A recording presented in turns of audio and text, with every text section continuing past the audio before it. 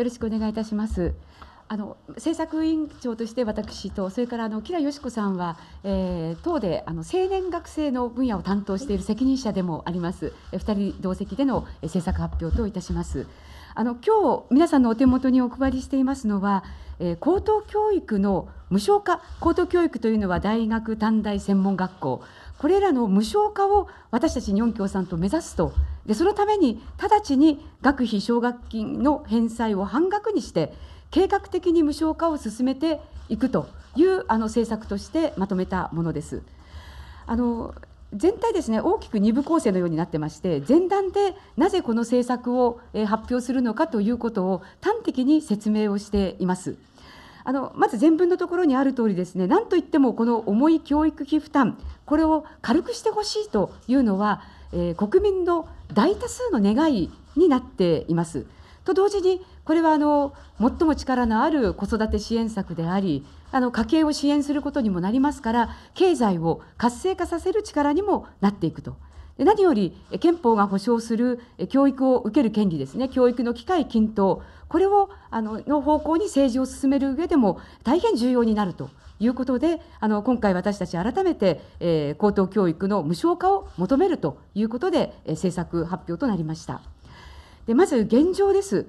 今のあの大学の学費はですね国立大学でも初年度の納付金が、えー、81万7000円と私立大学では平均で135万7000円というですね大変重い負担になっています一方で奨学金はといえばですねえー、貸与制が中心でありしかもその貸し付けている約半分が有利子での貸し付けになっているわけです。これあの学生でねあの対応額にいろいろありますけれどもあの3人に1人が平均300万円の借金を背負っていることになる。でこれまであのこういうふうに学生1人でどれぐらいってことを見てきたんですけれどもあの今年の国会でねあの私たち論戦の中でもじゃあ若い人たちみんなで見た時にどれだけの借金総額になっているんだっていうことを改めて文部科学省に正しました。とも現時点で見れば10兆円近いというあの借金奨学金という名の借金を現に日本では若い世代がですね担っているということになるわけです。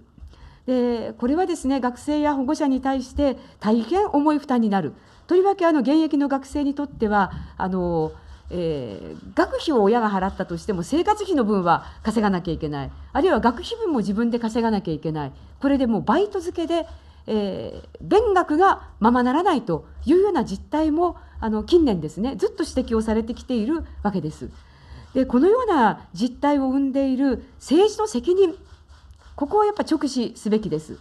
あのもう長年言われてますけどね日本が OECD 加盟国の中で、えー、最低クラスの、えー、教育費の支出だということが言われているわけですね。とりわけあの大学の学費ということで見てみますとこの50年間驚くほどの値上げになってるんですね。国立大学で言えば50倍私立大学でも10倍ということになります。これほど値上げをしているものは他の公共料金物価などを見たときにないという状況にもなっているわけです。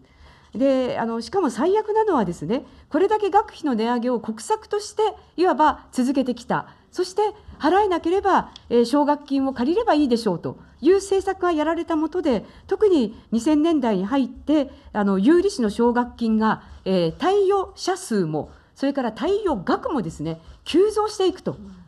1人当たりの借金額も増えるし借金を抱える人も利子付きの借金を抱える人も急激に増えるという状況になったわけです。ここはやはりあの、えー、奨学金という名の借金をですね若い世代に背負わせてきたこの政治への反省学費を値上げ続けてきた政治への反省これが求められているということです。でしかもですねこの学費無償化っていうことに進むことは、え国際社会の流れでもあるということであの国際人権規約は日本政府も、えー、1979年にこれは批准をしているんですけれどもあのしかし高等教育の無償というのは長年留保を、えー、してきました。であのこれあの加えての文書の中にない部分でちょっと加えてねえ説明しておきたいんですけど日本共産党はこの留保撤回っていうことはいち早く国会の中でも求めてですねこれあの民主党政権の時にあの国際人権規約の高等教育の全身的無償化、えー、計画的に無償化していくというですね、えこの部分についても留保の撤回が行われたわけです。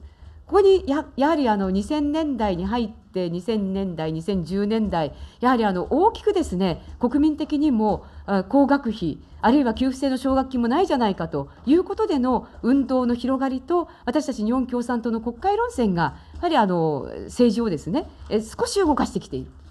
だけども大きな流れではこの、え、全身的無償化というあの国際人権規約を認めていながら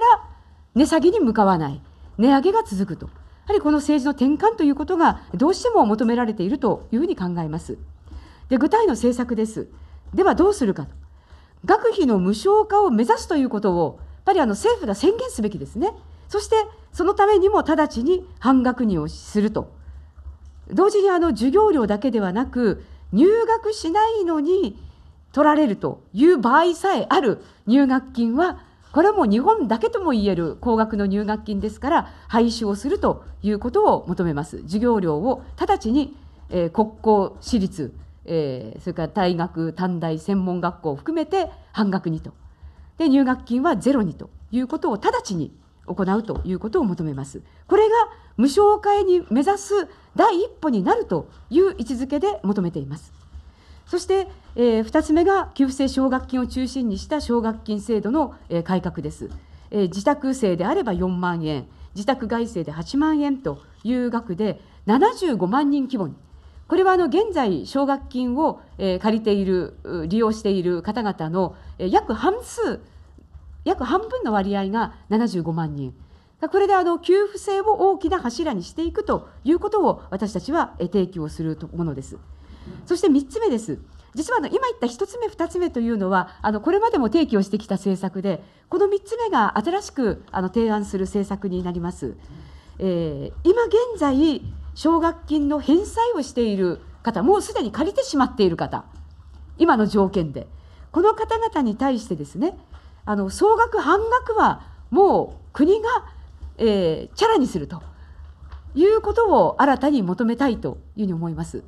これはですねあの学生というだけでなくてすでに大学を卒業してこの重い奨学金返済がやはりあの将来設計をですね非常にあの困難にしているという現状があるわけであのこれはあの、えあの連合の皆さんの中のあの団体でもあります中央老福協ですねの皆さんのアンケート調査というのを見ても、え日常的な食事への影響とか医療機関の受診に影響を与えているとかそれからあの将来の子どもの教育が心配とかこういうですね今自分たちが奨学金を返していることが若い世代の将来設計に対して多大な影響を与えていることがすでに明らかになっています。であの昨年ですねアメリカでバイデン大統領があの連邦政府の学生ローンの借り手に1人当たり1万ドル137万円の返済免除ということを示してこれを決定したわけで私たちはこれも非常に注目をいたしまして日本でも同様に貸与奨学金の総貸付残高10兆円の半分を国が負担をするということをあの提案をしたいというふうに考えています。でこれらの財源はどうするのかということですがこれはあの私たち、えー、一昨年の総選挙そして昨年の総、えー、参議院選挙でもあの19兆円規模での財源提案というのを行ってきているところです。あのこの財源提案の中で、えー、学費半額入学金ゼロそして給付制の奨学金をあの大きな柱にということはもう含めての提案をしておりました。今回新たに提案をする奨学金の返済の、え、半額つまり 5, 5兆円規模でね国が負担をということについてはこれはあの1回お金を出せば済む話ですのでこれはどこから見出すかというふうに考えますとやはりあのミサイルを今後開発するために巨額の積立金をするわけでこの路線をやめれば大軍拡という路線を見直せばですねもうすぐにできるこういうあの予算に財源になっていますのでぜひあの大きな国民の世論も広げながらまたあの、えー、これはあのいろんな政党の皆さんとも野党の皆さんとも一致する点もあろうかと思います。ぜひあの国会の中の共闘も広げながら、えー、実現に向けて頑張っていきたいというふうに考えます。えーと、追加で加えることありましたらぜひ論戦もやってるかと思います。はい、改めて、えー、日本共参議院議員の吉良子です青年学生委員会の責任者をしております。で青年学生委員会として、まあ、あの若い学生の皆さんもしくは働いている若いあの20代の皆さんなどとも交流してきましたがやはりこの高すぎる学費を下げてほしいというのはもう切実な要求になっていることを実感しています。でとりわけあのコロナの下で一旦はその学生のアルバイトっていうのは減ってはいましたけれどもやはり今また増えていますしそれは学費や生活費を賄うためのアルバイトです。でしかもその実態というのは深刻で例えばちょっとでも時給のいいアルバイトをするために深夜のアルバイトをしている学生も増えていて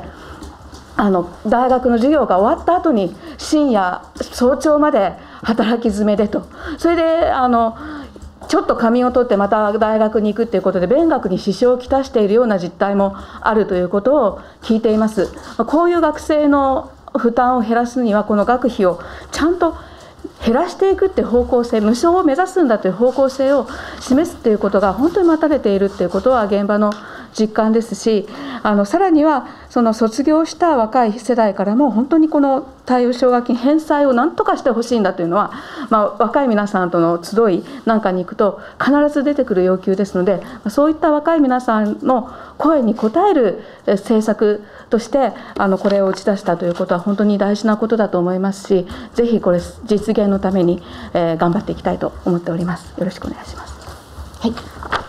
まずあのこの政策についてご質問等ございましたらあ関わってでも構いません。はい、政策をですね、この、えーと、公約という形に出さずに、あえてこのタイミングで出された動機、理由を聞かせてください。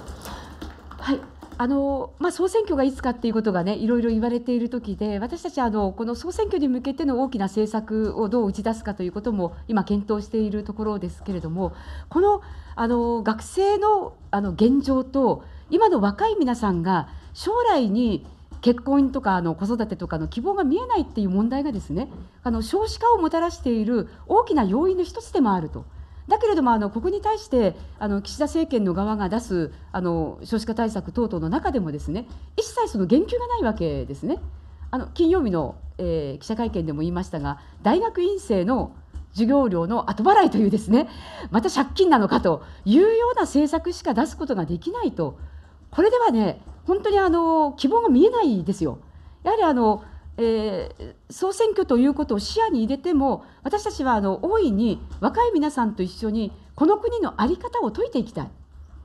そして皆さんの願いがあの実現できる道はあるということをぜひあの、えー、対話や運動の中あるいは国会論戦も通じてですね大いに知らせていきたいということであのこのパッケージえー、学費の、問題それから、えー、奨学金の改善そして奨学金返済というところまで含めたあのパッケージとしてまず先行して発表することにしました。はい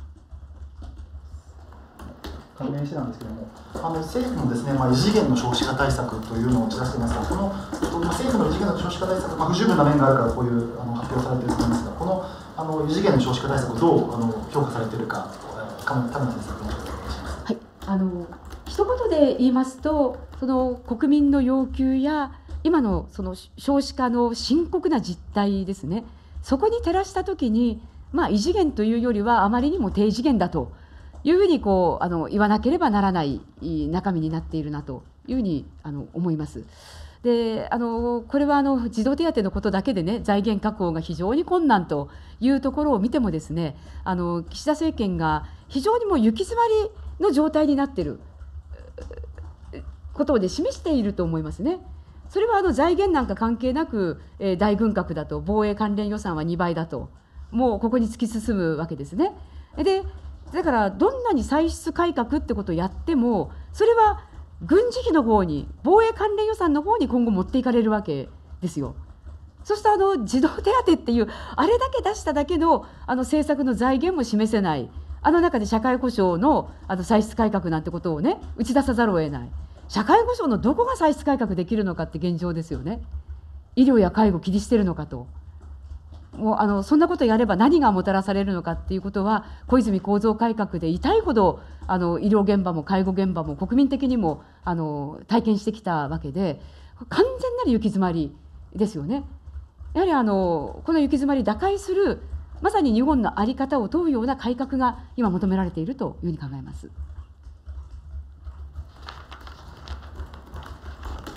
あのファクターの宮島ですけど、まず高等学校はどうなってるんですかね？えっ、ー、と高校要するに大学は分かんだけど短大専門学校って言って専門学校っていろいろあるんですけど、その辺はどんなふうな切り分けになってるのか教えてください。あのいわあのいわゆる専門学校も含めての高等教育というふうに私たちは位置づけています。で専門学校もかなりの学費、まあ、ばらつきあるんですけどねあの高い学費をあのしかもあの1年一括でね支払ってっていうようなところも結構多くありますよね。ですからそこの学費の半額ということはやはり求められていると思いますし、まあ、学費の面だけでなくね本当にあのその場での教育内容があの一人一人のその学生たちの本当にあの社会に出た時の能力開発につながるようなそういう中身的なこともねぜひあのいろんな改革っていうのはあの今後もねあの政策の中でも提言をしていきたいというふうに考えてます。高校はどうだったんですか？あ、えっと高校ですね。高校はこれはあの完全無償化はいち早くやるべきだということで、あの総選挙の全体の政策の中でこれは出していきたいというふうにも考えてます。あの各政党で専門学校までそういうふうにするっていうのは僕あんまり記憶がないように思うんですけどそれはユニークなとこかしらね。みんないろいろ言ってるんですよね。憲法改正無償にしろとか言ってるんですけど共産党のこの中でオリジナリティって言うと一番どこってことなんですかね。あのやはりあの高校卒業後に専門的な知識能力を身につける教育っていうふうに考えた時にはやはり専門学校を含めるべきだというのがあの私たちあの学費の半額というのを提起したのはいつ何？えっと、その時からですね初めに学費半額というのを提案した時からあの専門学校というのを視野に入れた提案になっているところです。私立も含めてですね。国公立私立専門学校ということで全ての高等教育を受けている学生があの恩恵を受けられるような政策にすると。あのやっぱりこれが奨学金だとやはり一部に限られる。現状の給付奨学金もあの2020年からスタートしてますけどほとんど要件が厳しくて受けられない状況にあるわけでそうじゃなくて全ての学生の学費を下げるっていうことができれば全ての学生が恩恵を受けられるしそのそれによってその進路の選択の幅も広がると思うんですよね。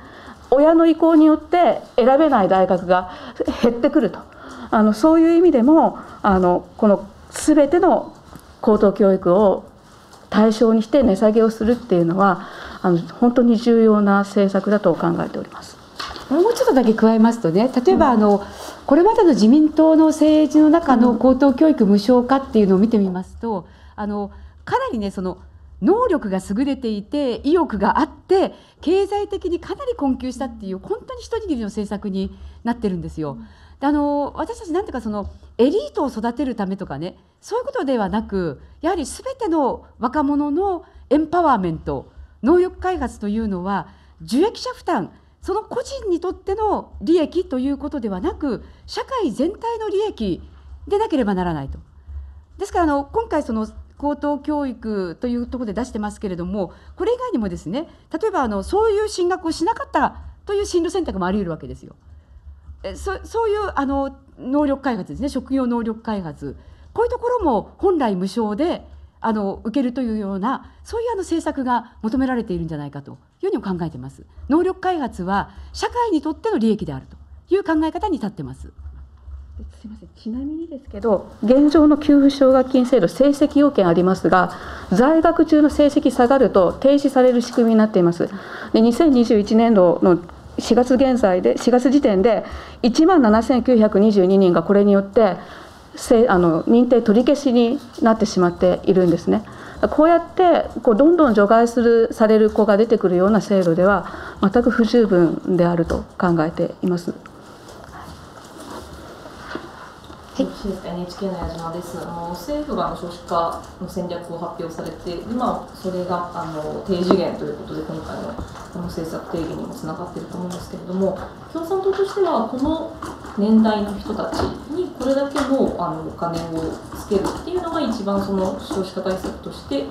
重要だというか。の一つの柱だと。あの少子化対策としても一つの柱あの私たちね今回少子化対策として打ち出してないんですよ。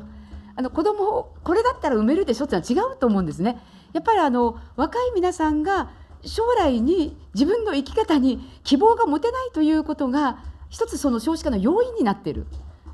だから少子化対策として必要というよりもやっぱり若い世代に対するなんていうかね全体若い世代全体のあの支援の政策として打ち出しているというところの特徴ですね。うん。でこれはあの一つの柱でこれだけで十分とはあのとても言えなくてあの働き方をどうするかということとかあの、えー、それからあのその給食とか。そうですね。あの無償化ということで言えばあの義務教育から含めた完全無償化っていうことも求めていかなければなりませんしあのあるいはその子どもに関わる仕事をしている人をねその専門的な人をもっと増やしていかなきゃいけないしがあのもう一つ言うと子どもの人権というような観点も必要だろうとこれはまたあの総選挙に向けた政策の中であの大きく位置づけて出していきたいというふうに思います。新社の山崎と申します。この、まあ、先ほどちょっと話ともあの被るところなんですけれども、今、まあ、政府の少子化対策というのが、まあ、あのいろいろ問題になって、あのいろいろと議論されているところだと思うんですが、今回はその少子化対策ではのにもね、あるけれども、まあ、そこを打ち出してはいないというところで、逆にここでそのこの無償化の話を出してきたというのは、その意図というか、タイミングに関しては、どういうふうに考えていらっしゃいましょうまああのまあ、政府の政策の中に完全に抜け落ちてるっていうね少子化の要因であるにもかかわらず抜け落ちているということがあるのとこの間私たちあの学生に対する政策出してきたんですがやはりあの卒業したところの若い世代が非常にその奨学金の返済というので苦しんでいるということがあの切実に寄せられてきていますのでこれはあの一つパッケージとしてあの今あの大きく示して運動化していかなきゃいけないなというふうに考えてのものです。はい加えて言うなら。あの政府が言っている、奨学金の対策であるとか子供を産んだらなんとかみたいなことも聞こえてくるわけですけれどもそうすると例えば LGBTQ であったりとか子供を産まない選択をする人たちについては最初から除外ということになってしまうと。それではあの希望を持って生きていけないあの若者が多数出てくる可能性があるわけでそうじゃなくてどんな人生の選択をしたとしてもちゃんとそこを支えるんだと希望が持てる政策を示す必要が若い世代に対してそれを示すことで子どもを持つという選択肢も積極的に選ばれるそういう社会になっていくのではないかということです。あの、はい共産党もやはり高齢化進んでますね、それでやっぱり民生ですとか、学生の委員会とか、そういうところの声の吸い上げを直に受けて、今回、こういうことをやったと、はい、そういうふうに木田さんがいるってことはそういうことですか、ややそういうところがあまりこれまでなかったように思うんですけど、若い人の声が。それは今一番出てるのはやっぱり専門学校とかそういう人たちが困ってるみたいな。奨学金自体は困ってないのが分かってる話なんですけどね。どういう声を受けてこれが出てきたのかね。それはどんな感じなんですか？せっかくさんおられるんだからね。はい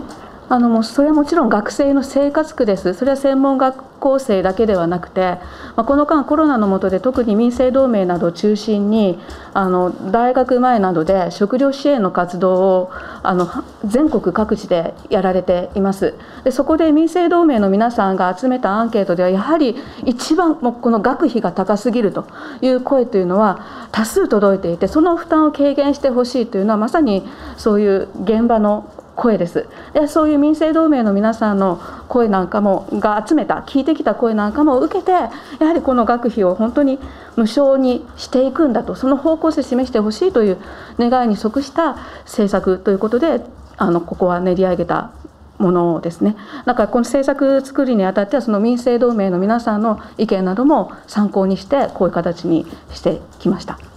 入学金ゼロなんてのは本当にねあの学生の皆さんからね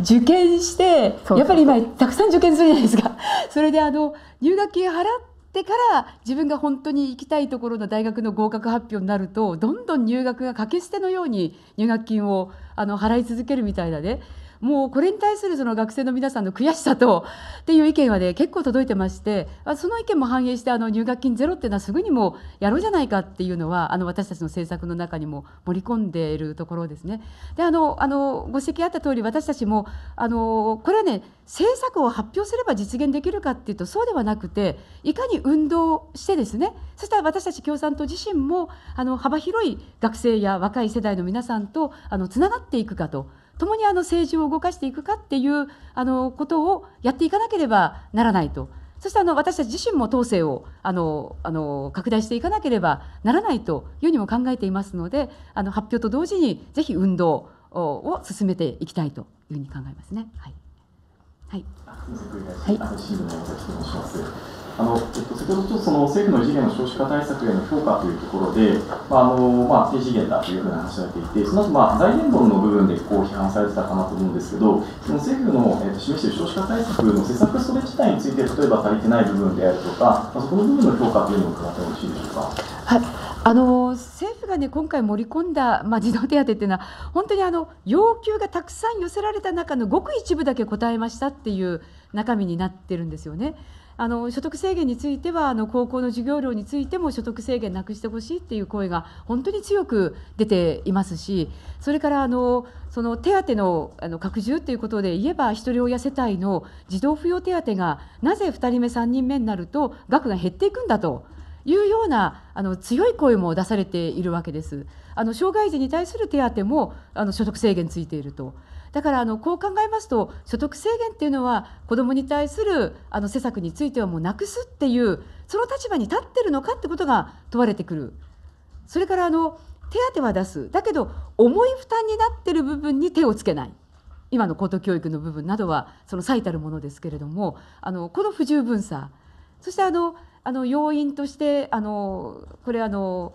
不安定雇用や低賃金やこういう若い世代がやっぱ将来設計できない働き方をしている長時間労働ワンオペ育児だからもう2人目3人目は無理ねっていう声も出ているこうした働き方のところに対してまともな労働法制での規制をかけるっていうことにもあの踏み出さなければならないというふうに考えます。まあ、あのその他ねその教育に関わるあるいは保育に関わる人をもっと増やすっていう問題であるとか、えー、それからあのもう一つねあの子供を育てていく時に負担と不安なんですよ不安。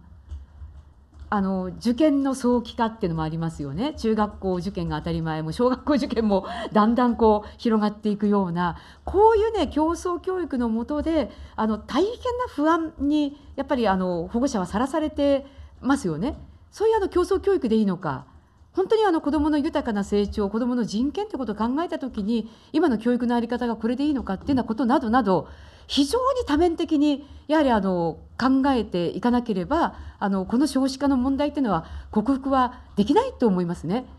そういう意味ではねその働き方の問題一つとっても経済界にものが言えるかなんですよ。安価な労働力として女性やあの若者たちを使ってきている長時間労働の規制にも経済界に遠慮してまともに踏み出せないこういうところにものが言えるのかっていうことやあのこの、ね、人権後進国の日本の在り方を変えられるかなどなど非常にあのこの少子化ということを入り口にしてあの日本の社会と政治の在り方そのものがね問われているような現状だと思うんです。そういう認識が岸田政権にありますかっていうところがその不十分さの表れではなかろうかというふうに考えますね。そのあの、まあ、いろいろな問題指摘された中の一つで、まあ、今回、高等教育の話が出ると思うんですけど、まあ、今、その衆院選に向けて政策パッケージをこうどう出していくかということを、まあ、検討されていく中で、まあ、今後その、その他の問題に関しても、まあ、共産党としての示しあの考えを示していくというそうですね、示し方も含めて、あのいろいろあの今、検討しているところです。はいよ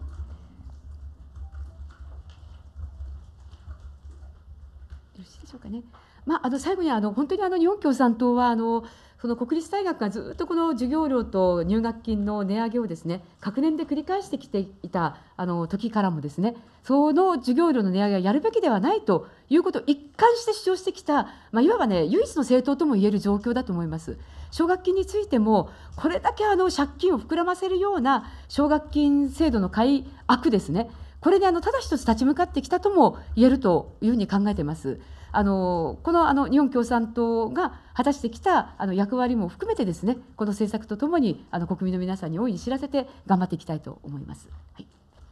はい、あはい。あの確認なんですけども、若者世代の強調されてましたけど、これはリスキリングされる方も年齢制限なしで補助される。あそうですね。はい。制度として授業料半額ということで。はい、しいでしょうか？よろしいですか？はい、どうもはいありがとうございましたじゃあ終わります。ありがとうございました。